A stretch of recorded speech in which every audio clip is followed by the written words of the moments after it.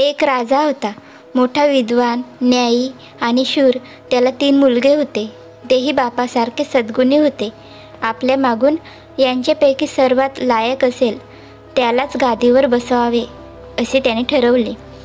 मग आपल्या प्रधानांना तो म्हणाला माझ्या मुलांपैकी सर्वात लायक कोण आहे ते तुम्ही हुडकून काढा. तो माझ्या गादीचा वारस होईल. राजाने ते मान्य केले. आणि राजपुत्रांच्या प्रवासाची तयारी केली. ते तिघेजण एकदम घरातून बाहेर पडले. एकाच जहाजातून एका बंदराला पोहोचले. तिथून तिघांनी तीन वेगळ्या दिशांना जायचे ठरवले. जाताना अमुक एका ठिकाणी अमुक एका दिवशी तिघांनी याच ठिकाणी जायचे असे त्यांनी ठरवले आणि ते वाटेला लागले. मोठा कपड्यांचा व्यापारी झाला. त्याने अलोट पैसा कमावला. दुसरा धान्याचा व्यापारी झाला. त्यानेही तसाच पैसा कमावला. धाकटा मात्र समुद्राच्या काठी इथे तिथे छावणी करीत राहिला. अशाच एका ठिकाणी त्याची एका गोसाव्याशी गाठ पडली. राजपुत्राचा दयाळूपणा गुण आणि रूप पाहून गोसावी खुश झाला. त्या ठिकाणाहून तो निघाला. तेव्हा गोसावी राजपुत्राला म्हणाला तुझ्या दयाळूपणा पाहून मी खुश झालो आहे. मी तुला वर देतो. म्हणजे तुझ्या भावांपेक्षा जास्त दौलत तुला मिळेल. तुझे सारे पैसे खर्च करून तू धान्य घे. रोज थोडं थोडं करून सहा महिन्यात सारं धान्य तू समुद्रात टाक. त्यानंतर समुद्रातून भरघोस पीक येईल ते तू घे. मी आता जातो. राजपुत्र त्या त्याप्रमाणे करू लागला. पैसे संपले धान्य संपले. समुद्रातून काहीच वर येईना.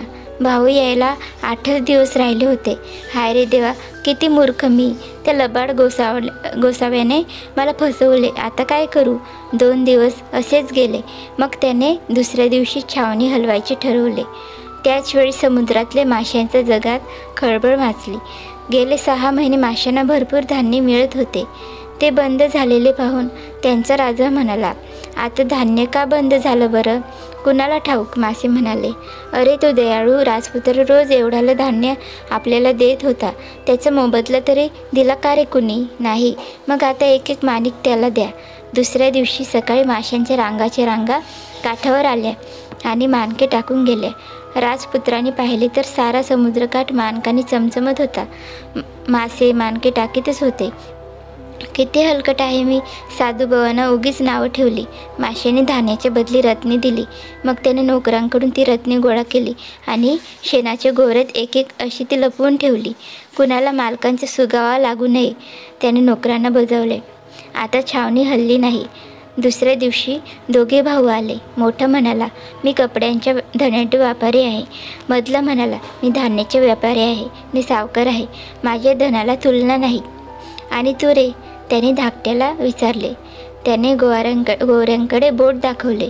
तो प्रचंड ढीक पाहून ते दोघे कुत्सिकपणे हसले पण धाकट्याने तिकडे लक्ष दिले नाही.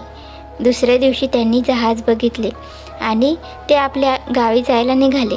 वाटेत जहाजातले सरपंच संपले. कप्तान धाकट्याला म्हणाला तुमच्या गोवऱ्यांपैकी थोडं थोड्या द्या. गावी गेल्यावर किंमत देईन. धाकट्याने एक एक गोवरी मोडून आतले रत्न ठेवून पुष्कळ गोवऱ्या कप्तानाला दिल्या. जहाज सुखरूप बंदराला लागले. राजपुत्र आल्यावर राजाने मोठा समारंभ केला. लोकांसमक्ष राजपुत्रांना त्यांचे वैभव दाखवायला लावावे आणि त्यांच्यापैकी सर्वात लायक असेल त्याला राज्यावर बसवायचे असे त्याने ठरवले. दरबार भरला. मोठा राजपुत्र आला. खूप बडाही मारून त्याने आपल्या दौलतीचे वर्णन केले. मग मधला आला. त्याने आणखी रंगून स्वतःचे ऐश्वर वर्णन केले. लोक म्हणाले वा वा यालाच राजा करा. मग धाकटा आला. काही न बोलता त्याने एक एक गौरी मोडली. तेजस्वी मानके खाली पडू लागली. गोवऱ्या संपता संपेनात माणिकांची रास झळकू लागली. राजा म्हणाला असं एकही माणिक मी अजून पाहिलेलं नाही. लोक म्हणाले धाकट्यालाच राजा करा. पुढे बाप वारला आणि धाकटाच राज्यावर बसला. दोघे भाऊ त्याचे प्रधान झाले. ही कथा कशी वाटली ते कमेंट करून सांगा आणि अशाच नवीन नवीन गोष्टी ऐकण्यासाठी चॅनलला सबस्क्राईब करा. धन्यवाद.